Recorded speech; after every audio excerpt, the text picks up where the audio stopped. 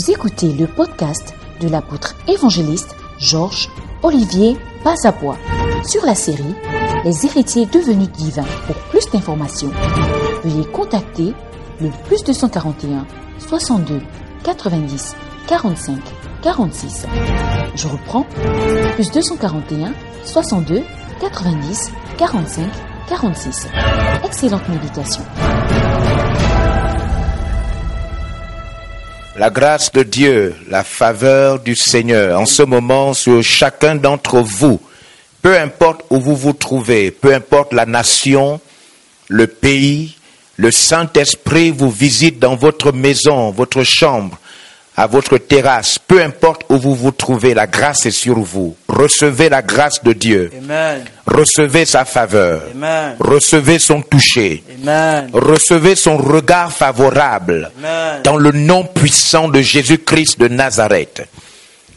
Amen. Amen. Gloire soit rendue à Dieu. Je vous salue à l'endroit où vous vous trouvez. Et je sais que les anges de Dieu sont autour de vous. Et la main du Seigneur est grandement étendue sur votre vie, sur la vie de votre famille, sur votre maison et sur vos affaires. Recevez la grâce de Dieu multipliée au nom de Jésus. Amen. Amen. Je suis comme vous, n'est-ce pas, dans ces temps d'adoration, dans ce temps de, de célébration, et je voudrais dire bonsoir à tous ceux qui sont connectés, n'est-ce pas, avec nous, par ces merveilleux moments à l'intérieur du pays, voilà, dans tout l'estuaire, mais aussi vous qui êtes nombreux connectés à l'extérieur du pays et dans, et dans le monde. Nous allons partager après tous ces moments d'édification et ces moments, n'est-ce pas, où nous avons pu adorer, célébrer, mais aussi être édifiés par beaucoup d'autres prestations, je m'en vais partager la parole de révélation avec vous. Et le, le, le, le, thème, la pensée même par laquelle Dieu veut entretenir nos âmes et nos esprits, maintenant, c'est l'héritier et, n'est-ce pas, la parole de vérité l'héritier et la parole de vérité. Si vous nous prenez maintenant, et si vous n'êtes pas un habitué de notre page euh, Facebook et, YouTube, alors nous voulons vous dire simplement que c'est un grand privilège, une grande grâce pour nous, n'est-ce pas, de vous recevoir sur cette plateforme. Cette plateforme pour votre édification, cette plateforme pour votre bénédiction, cette plateforme pour la grâce de Dieu dans votre, dans votre vie. L'héritier est la parole de vérité. Mesdames et messieurs, chers pasteurs, chers missionnaires, membres de la grande famille VLR, vous le savez tous, depuis un bon bout de temps, Yes. nous nous sommes interrogés. Pourquoi les chrétiens ne sont-ils pas aux commandes de tout ce que la Bible proclame? Pourquoi les chrétiens ne sont-ils pas prospères? Pourquoi les chrétiens louent-ils encore? Pourquoi sont-ils encore malades? Pourquoi les chrétiens sont-ils encore pauvres? Pourquoi le mariage des chrétiens bat encore de l'aile? Pourquoi les chrétiens subissent encore, même le célibat, le célibat forcé pourquoi les chrétiens échouent encore dans leurs affaires, leurs entreprises, alors que la Bible donne, nous donne un aperçu si puissant, n'est-ce pas, de la vie des héritiers de Dieu? Nous avons donc étudié depuis un bon bout de temps et nous sommes encore plongés au cœur même de cette Et à l'heure où nous sommes en train de continuer notre partage, je prie qu'au nom de Jésus-Christ, votre téléphone portable, votre tablette ou même votre télévision intelligente, je dis par là, le moyen par lequel vous pouvez nous recevoir. Dieu utilise ce moyen non pas seulement pour regarder comme sur les réseaux sociaux, mais pour qu'une grâce vivante sorte à travers l'instrument que vous avez et que Dieu remplisse votre cœur et votre vie. Amen. Dans le nom puissant de Jésus-Christ, que ce temps de partage seulement suffise à Dieu pour opérer puissamment dans votre corps, dans, votre, dans vos affaires, dans votre ministère et même dans votre maison au nom de Jésus-Christ. Le but de notre étude, c'est de vous mettre aux commandes aux commandes des choses que Dieu a rendues possibles à tous ceux qui ont confessé Jésus-Christ comme Seigneur et Sauveur personnel. Je m'en vais lire avec vous, n'est-ce pas, le livre de Jean chapitre 1, verset 17.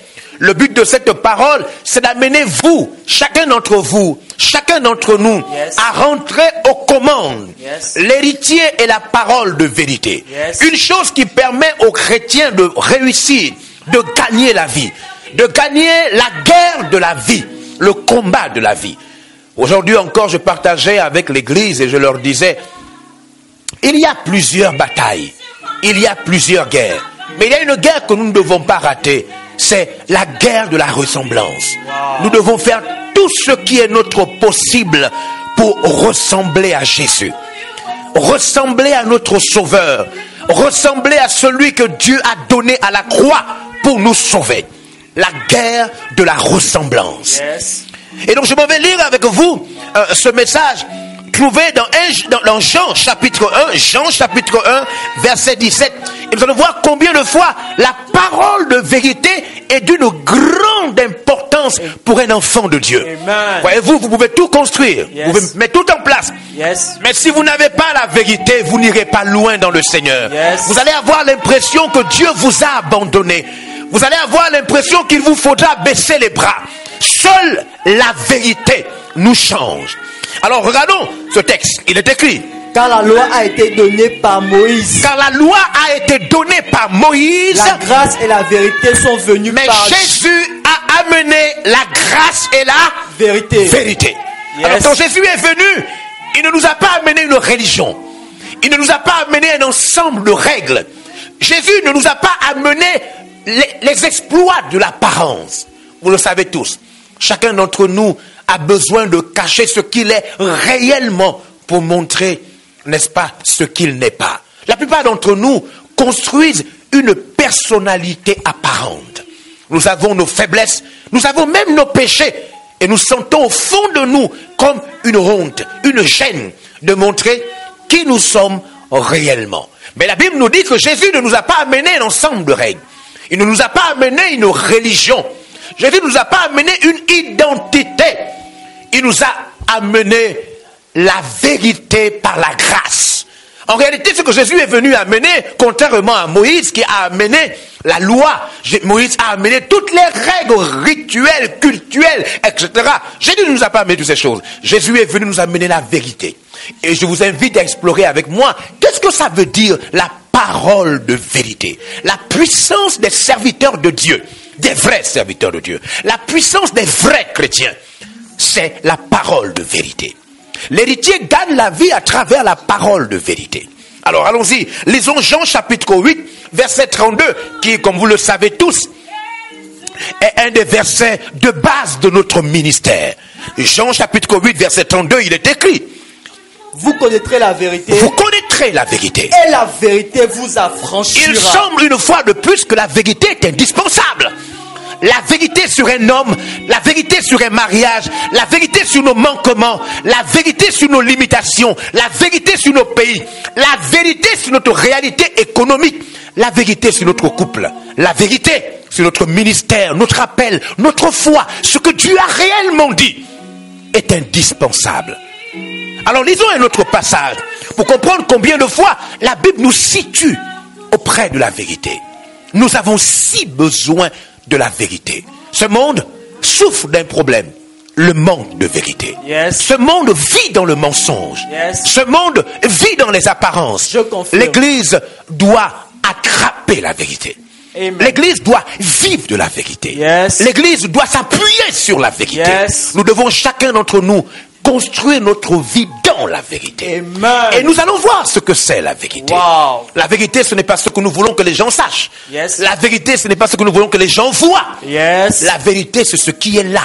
Ce que Dieu nous a donné. Ce qui est sorti de la bouche de Dieu. Ce qui ne souffre d'aucune tromperie. Yes. D'aucun mensonge. Mais encore, d'aucun abus. Je confirme. La parole de Dieu. Amen. Alors lisons. Dans le verset 45. Et Jean moi- chapitre 8, verset 45, il est écrit. Et moi, parce que je dis la vérité, Et moi, parce que je vous dis la vérité, vous ne me croyez pas. vous devez comprendre que le- aujourd'hui, les hommes de vérité ne sont plus acceptés. Yes. Ceux qui disent la vérité ne sont plus suivis, suivis par les foules. Les foules aiment désormais ceux qui travaillent l'apparence, ceux qui mentent, Yes. ceux qui sont subtils, Yes. ceux qui savent tromper, ceux qui savent habiller le faux. Yes. Jésus dit, parce que je vous dis la vérité, alors vous ne m'aimez pas, vous ne me suivez pas. L'heure, l'heure des hommes de vérité, des ministères de vérité, des prédications qui dévoilent la vérité. Cette heure est vraiment arrivée. À l'heure où le monde connaît le déclin, à l'heure où le monde est complètement dans la perte, à l'heure où le monde est plongé dans le chaos, nous avons besoin de la vérité. L'héritier gagne par la parole de vérité. Laissez-moi vous, laissez-moi vous saouler d'abord par le fait que la vérité est une chose indispensable. La vérité est une chose indispensable. La vérité, c'est ce que l'apparence ne montre pas. La vérité, c'est ce qu'on n'a pas besoin de travailler. La vérité, c'est ce qu'on n'a pas besoin d'exploiter pour montrer aux autres qu'on est important. La vérité, c'est ce que Dieu a dit. Yes. Ce que Dieu a dit. Yes. Ce qui est sorti de la bouche de Dieu. Yes. Jean chapitre 4, 14, verset 6, la Bible dit, Jésus lui dit, je suis le chemin, je suis le chemin, la vérité Jésus est la vérité. et la vie. Là encore une fois, Jésus ne peut pas abandonner la vérité. Yes. Il, il est, il est même incapable de se décrire sans se mêler à la vérité. Amen. Il dit, je suis le, je suis le chemin, je suis la vérité et je suis la vie. Magnifique. Plusieurs passages. Je n'ai pris que quelques-uns, vous pouvez l'imaginer. Mais plusieurs passages soutiennent que la puissance est cachée dans la vérité. La lumière est cachée dans la vérité. La guérison est cachée dans la vérité. La véritable prospérité est cachée dans la vérité. Alors je m'en vais ouvrir le cœur de cette parole ce soir. Je vais vous donner le cœur même de ce que je veux communiquer à chacun d'entre vous. Cela se trouve dans Jean le chapitre 1, le verset 1 à 3. Et je vous invite à être sensible, peut-être même à ouvrir votre Bible ou encore à prendre un de vos calepins et de, et de recevoir la révélation de ce Amen. soir. Parce que la, la révélation doit être liée à la vérité. Yes, yes, yes, La, la- yes. la révélation n'est pas l'imagination des hommes. Yes. La révélation n'est pas une prophétie fabriquée. Yes. La révélation, ce n'est pas ce qu'on a envie de vous dire pour vous impressionner. La révélation, c'est la vérité qui touche votre cœur et qui fait de vous une autre personne. Magnifique. Wow. Jean chapitre 1, verset 1 à 7, il est écrit. Au commencement était la Au parole. commencement, voyez-vous, ce n'était pas le Gabon, la Côte d'Ivoire. Au commencement, ce n'était pas l'Allemagne, la France, le Canada, les États-Unis d'Amérique. Au commencement, ce n'était pas les îles Caïmans. Au commencement, ce n'était pas vos projets, mes projets. Au commencement, tout a commencé par la parole. Tout ce que Dieu a mis au monde, il a amené cela par la parole. Je vais vous amener à comprendre que lorsque vous commencez une chose sans la parole, vous avez mal commencé. Amen. Quand vous avez commencé un mariage sans la parole, vous devez admettre que vous avez mal commencé. Yes. Quand vous avez commencé même une grossesse sans la parole, vous devez comprendre que vous avez mal commencé. Wow. Au commencement de toute chose, au commencement du rétablissement, au commencement de la paix au Sénégal, au commencement de la stabilité au Gabon, au commencement de la transformation des cœurs des Européens, au commencement de Jésus-Christ au Canada, était la parole. Au commencement était donc la parole. Et la parole était avec Dieu. Et cette parole était Dieu. Et la elle parole- était avec Dieu. Et elle était Dieu. C'était un message si puissant. La parole était avec Dieu. Et la parole était Dieu. La parole était avec Dieu. Et c'est, et c'est Dieu qui est la parole. La parole était avec Dieu, elle était Dieu. Elle était avec Dieu, elle était mêlée à Dieu. La parole était avec Dieu. Et de cette parole sortait Dieu. Était- Saint-Esprit. Receive. Au commencement était la parole, la parole était avec Dieu et Dieu était caché dans la parole. Au commencement était la parole, la parole était avec Dieu et Dieu se manifestait par la parole. Au commencement, la parole était Dieu. Elle était avec Dieu. C'est elle que Dieu envoie pour toucher les vies des gens. Au commencement était la parole et la guérison était cachée dans la parole. Au commencement était la parole. La bénédiction de Dieu se cachait en elle. Au commencement était la parole. La parole était avec Dieu et la parole était Dieu. Wow. Oui, Elle était au commencement avec Dieu. et la parole était donc au commencement avec Dieu. Toutes choses ont Toutes été choses. faites par elle. Toutes choses. Mesdames et messieurs, je voudrais attirer toute votre attention. Suivez-moi maintenant. Toutes choses, toutes choses ont été créées par elle.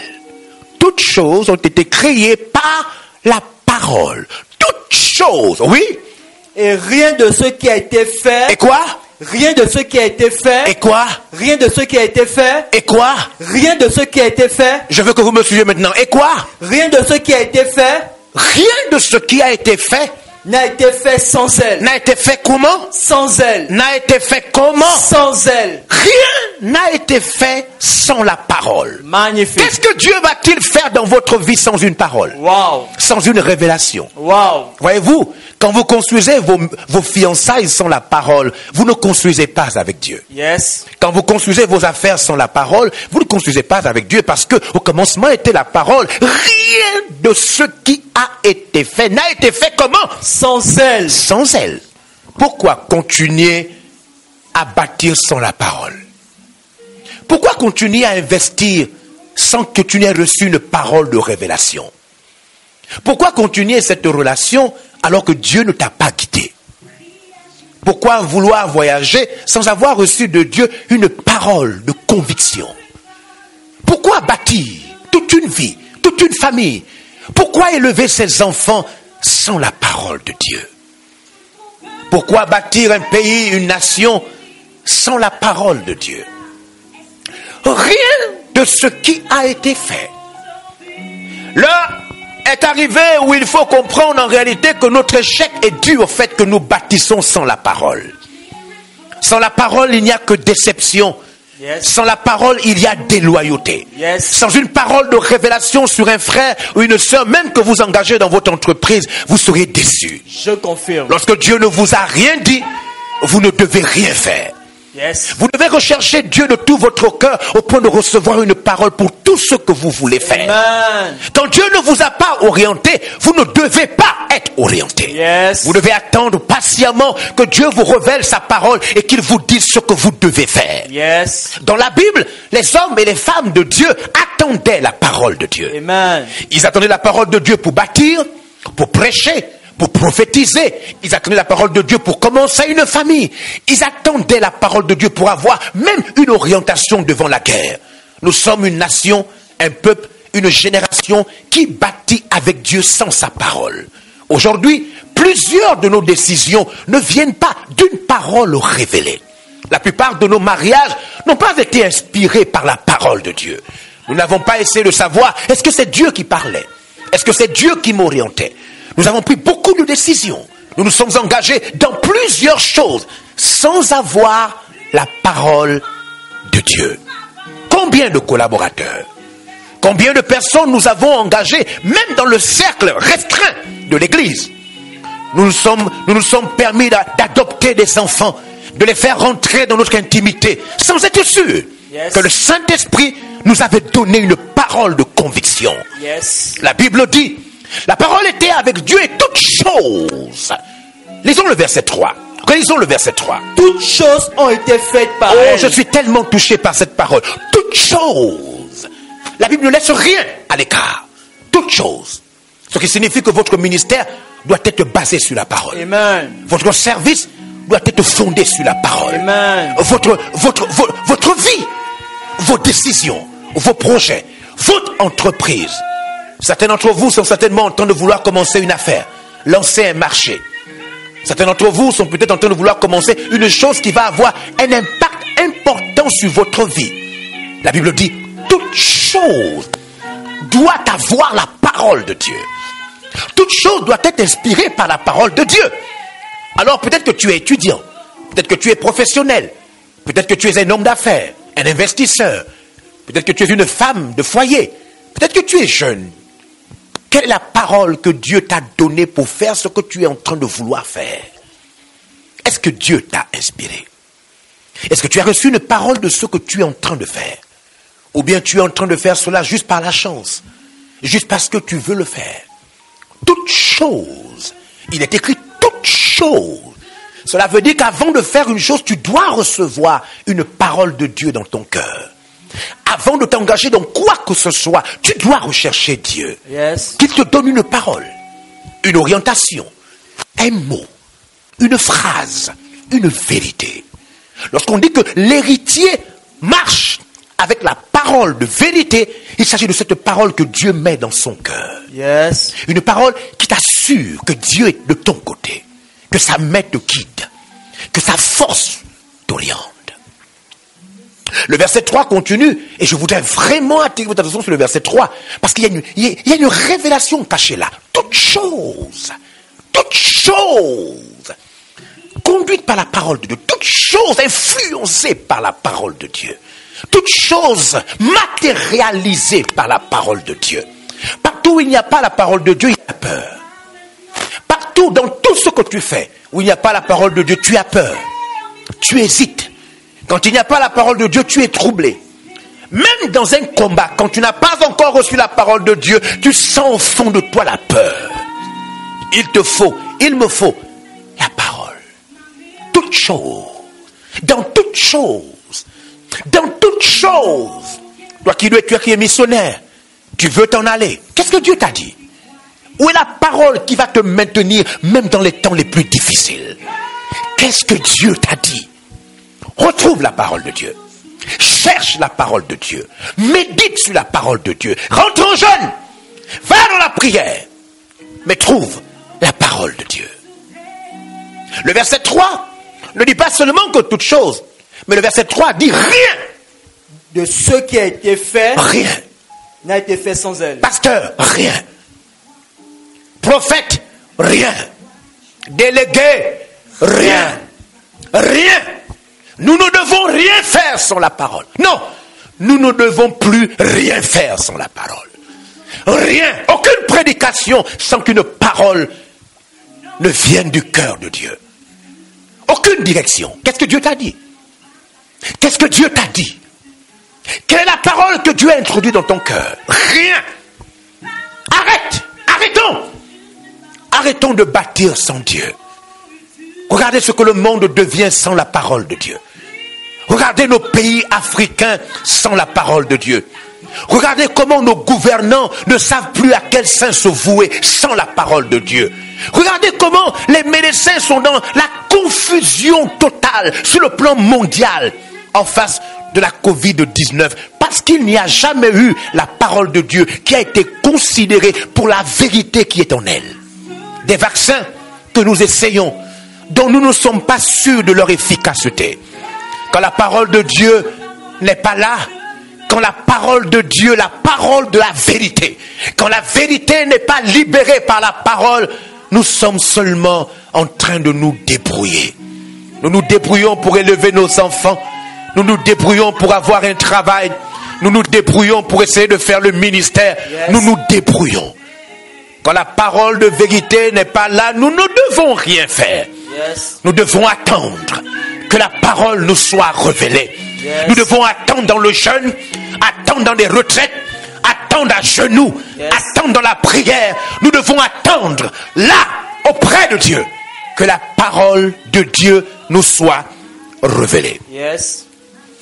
Je suis convaincu que beaucoup de sœurs en Christ, des femmes, des hommes, même des leaders que nous sommes, nous n'avons aucune parole forte de Dieu dans nos cœurs qui nous dirige tous les jours. Yes. Je peux savoir qu'au moment où vous me regardez à travers votre téléphone portable, Yes. vous n'êtes pas un habitué de la parole de vérité. Amen. Et je prie pour vous au nom de Jésus-Christ que la soif de la parole de vérité, la soif de la révélation vous soit donnée. Yes. Que maintenant, de même que vous pouvez avoir soif de boire de l'eau, que votre esprit ressente une soif, votre âme ressente une soif de la vérité, une soif de la parole révélée. Le matin, le soir, à midi, que Dieu vous donne la soif de sa parole. Voyez-vous, quand vous n'avez pas la soif de la parole de vérité, vous êtes un chrétien si léger. Wow. Votre vie chrétienne est si légère. Wow. Vous n'avez aucun poids spirituel. Pour vous, pécher et ne pas pécher, cela ne vous dit rien. Votre vie n'a pas de sens. Vous êtes chrétien. Vous venez à l'église, mais vous n'allez nulle part. Vous êtes dans tout et rien. Vous n'avez aucune identité, aucun poids. Parce que la parole de vérité n'est pas dans votre cœur. Rien. Rien de ce qui existe. Rien de ce qui existe n'existe sans elle. Magnifique. Rien n'existe sans elle. Magnifique. Rien n'existe sans elle. La parole Amen. est le commencement. Yes. Elle doit être le commencement de ta grossesse. Tu dois t'appuyer sur une parole. Tu ne dois pas t'appuyer sur un médecin. Tu dois t'appuyer sur une parole. Tu dois t'appuyer sur une parole pour voir ton enfant changer. Yes. Tu dois t'appuyer sur une parole pour voir ta famille, pour qu'elle ne se divise jamais. Qu'est-ce que Dieu t'a dit? Qu'est-ce que Dieu a mis dans ton cœur? Si tu n'as pas une parole, alors cherche la parole. Cherche une parole. Moïse avait une parole pour exercer son ministère. Abraham a reçu une parole. Jephthé avait une parole. David avait une parole. La plupart des gens qui ont du poids dans le Seigneur ont reçu une parole. Qu'est-ce que Dieu t'a dit? Qu'est-ce que Dieu t'a dit hier? Qu'est-ce que Dieu t'a dit ce matin? Qu'est-ce que Dieu va te dire demain? Rien de ce qui existe n'a été créé sans elle. Il vous faut une parole pour le Sénégal. Il vous faut une parole pour le Ghana. Pour commencer fortement et puissamment en Allemagne, il faut une parole. Il faut une parole en France. Il faut une parole au Togo, au Bénin. Il vous faut une parole au Maroc. Quand il n'y a pas de parole, il n'y a pas de lumière. Quand il n'y a pas de parole, même s'il y a l'église, il n'y a pas de puissance. Quand il n'y a pas de parole, tout le monde essaye de faire quelque chose, mais il n'y a pas de grâce. Jésus est venu pour nous amener la grâce et la vérité. La vérité est cachée dans la parole. Rien de ce qui existe n'existe sans elle. Il faut une parole. Il vous faut chercher une parole. Il te faut te mettre à genoux pour trouver la parole de ton mariage. Il te faut te mettre à genoux pour trouver la parole de ton ministère. Il te faut une parole. Je me souviens de 2022 lorsque j'ai reçu une parole à Port-Gentil. J'étais en train de lire la Bible. C'était mon temps de culte personnel. Alors une parole m'a été donnée. Aujourd'hui, cette parole s'est transformée en missionnaire. Elle s'est transformée en église. Elle s'est transformée en prédication partout. Elle s'est transformée au fait que nous avons des, églises parce qu'une parole avait été donnée en 2022. Il te faut une parole. Sans la parole, tu vas tomber. Tu vas te perdre. Sans la parole, tu vas te décourager. Sans elle, rien n'existe. Sans elle, rien n'existe. Alors je voudrais prier. Je voudrais prier pour cette révélation du verset 3. La vérité est cachée dans la parole. Sans la parole, même si tu es chrétien, tu n'auras rien de lourd, rien de puissant, rien de fort. Sans la parole, il y a un secrétariat mort, une intendance mort. Sans la parole, ton comité n'aura aucun impact. Sans la parole, ce que tu fais n'aura aucune puissance dans la vie des gens. Il te faut attraper une parole. L'heure du jeûne, l'heure de la méditation, l'heure de la recherche de Dieu est arrivée. Il te faut une parole. Pasteur, il te faut une parole. Diacre, il te faut une parole. Délégué, missionnaire, il vous faut une parole. Chrétien, il te faut une parole. Quelque chose qui va te maintenir. Quelque chose sur laquelle tu vas t'appuyer. Même dans les temps les plus difficiles. Il te faut une parole. Alors à l'endroit où vous êtes, je voudrais prier maintenant. Car rien de ce qui existe n'existe sans elle.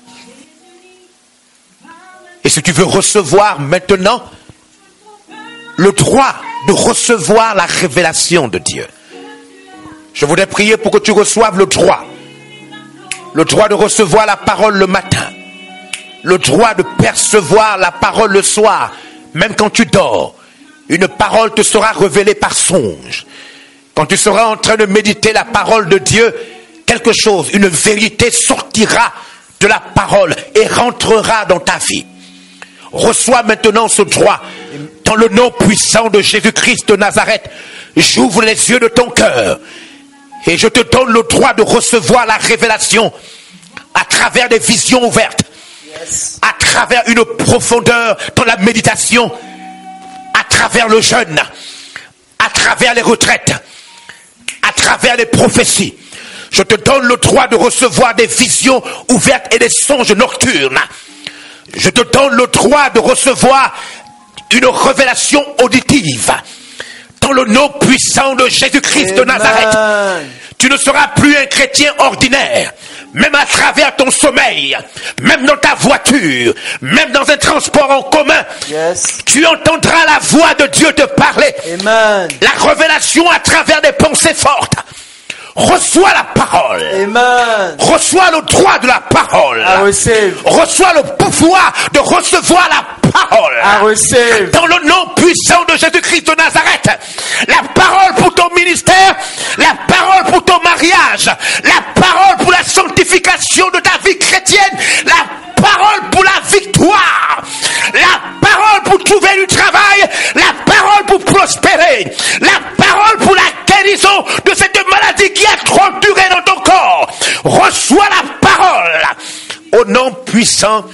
de Jésus-Christ de Nazareth. Sois béni.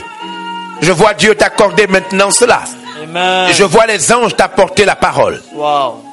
Je vois le Saint-Esprit t'accorder des révélations extraordinaires. Magnifique. Ce soir, aujourd'hui, tu viens de recevoir le droit de capter la révélation de Dieu. Le droit de recevoir la parole de Dieu sous toutes ses formes de révélation. Le droit. Tu ne seras plus un fils, une fille ordinaire. Dieu va te parler d'une manière ou d'une autre et ton esprit et ton âme seront capables de saisir la parole de Dieu révélée. Attendez-vous à recevoir plusieurs songes, plusieurs révélations. Attendez-vous à recevoir des paroles très profondes. Amen. À l'instant même où vous serez en train de lire la Bible, Yes. le Saint-Esprit va se révéler à vous, il va vous montrer la voie à suivre dans n'importe quel secteur d'activité dont vous avez besoin de la parole.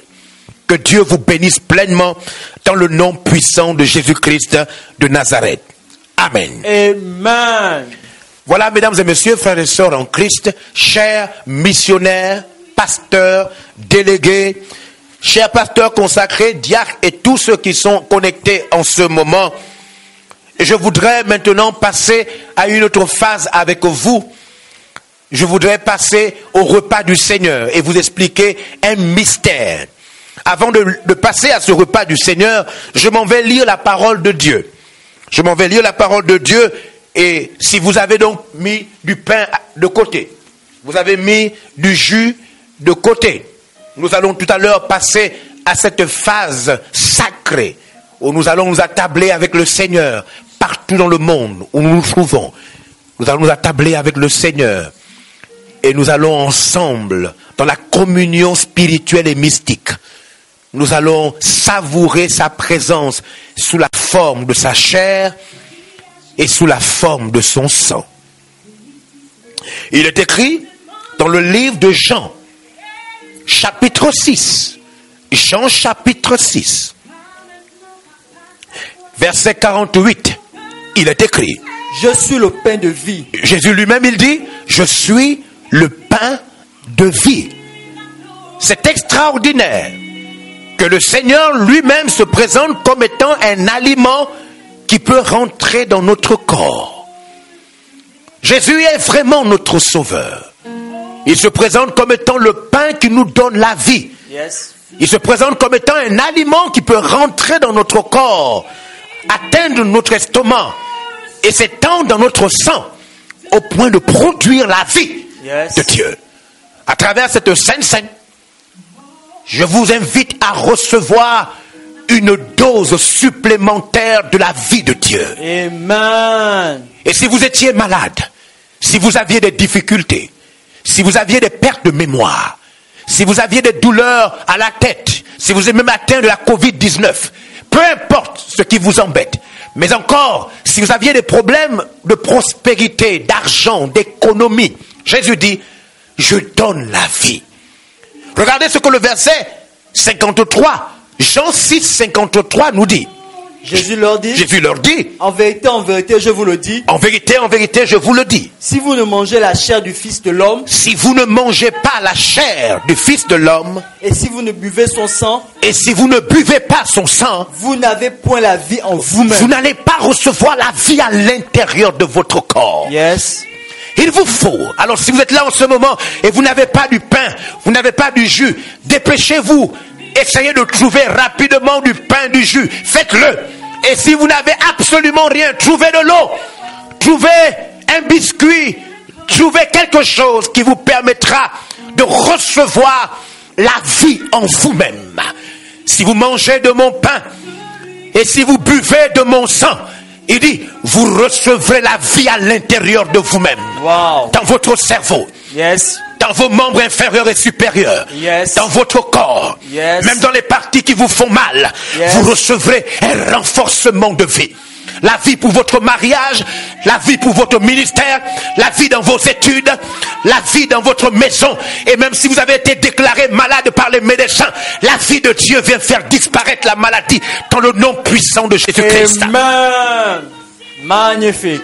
Il est écrit, il te sera fait selon ta foi. Yes. Il te sera fait selon ta foi. Yes. Il te sera fait selon ta foi. Yes. Il te sera fait selon ta foi. Je suis béni et vous êtes béni d'avoir partagé ce merveilleux culte. Que la grâce de Dieu soit sur vous. Que Dieu fasse réussir vos entreprises et vos affaires. Que la faveur de Dieu vous épargne de la mort précoce. Que la faveur de Dieu fasse enrichir toutes vos grandes idées pour le royaume de Dieu. Que Dieu vous maintienne attaché à lui jusqu'à la mort. Que l'onction de Dieu vous transforme en serviteur et en servante de Dieu. Amen. Que toute forme de maladie, toute forme de blocage s'éloigne de vous dans le nom puissant de Jésus-Christ de Nazareth. Soyez bénis cette fois.